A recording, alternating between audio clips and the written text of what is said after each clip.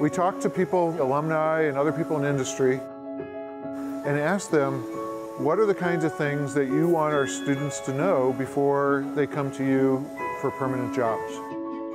They wanted our students to have more hands-on experience in the winery after the fermentation. What this course does is it takes those wines just after fermentation and allows our students to take them and go from blending of those wines all the way through packaging.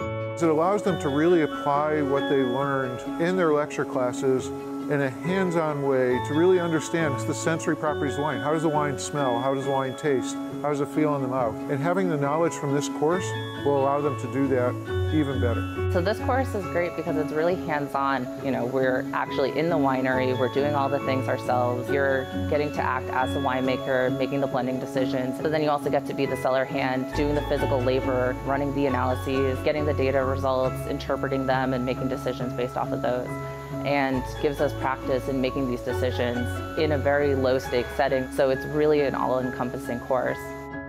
This is a toolbox to make the best wines possible or to take problem wines and figure out how to solve them. And so they're becoming basically creative problem solvers, making hopefully the best wine in the world when they leave here.